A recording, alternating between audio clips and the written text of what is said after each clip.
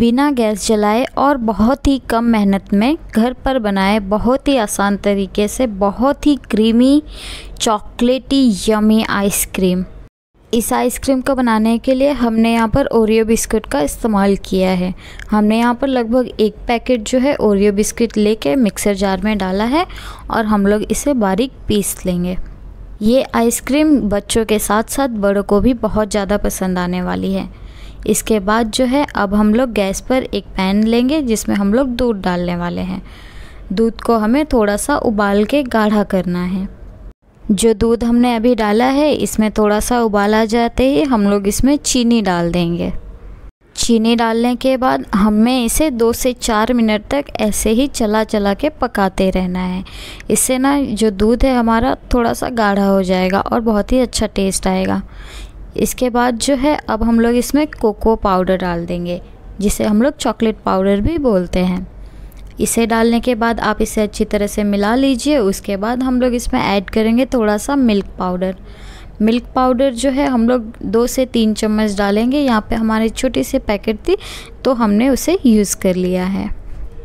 Milk powder को भी डाल के हम लोग अच्छे से चला लेंगे, इसके बाद जो है, हम डालेंगे हमारे बिस्किट का चूरा। जो हमने अभी मिक्सर जार में डाल के पीसा हुआ था।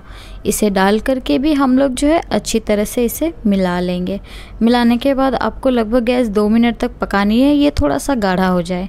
इसके बाद आप इसे ठंडा होने के लिए रख दीजिए और उसके बाद हम लोग इसे फिर से एक बार मिक्सी में डाल के पीसेंगे। मिक्सी में डाल के चलाने से इसके अंदर के जो लम्ब्स पड़े हुए हैं, वो सारे हट जाएँगे और हमें जो है एकदम सॉफ्ट सॉफ्ट आइसक्रीम खाने मिलेगी। हम लोग जो है, अब एक बर्तन ले लेंगे, या कोई डब्बा ले लीजिए आप। उसमें थोड़ा सा कोको पाउडर डाल के हमारा जो बैटर है, वो इसमें डाल देंगे। इस डब्बे में डालने के बाद इसे जो है, हम लोग अच्छी तरह से सेट कर लेंगे। सेट करने के बाद इसे हम लोग फ्रीज़र में रख देंगे, तकरीबन सात से आठ घंटे के लिए।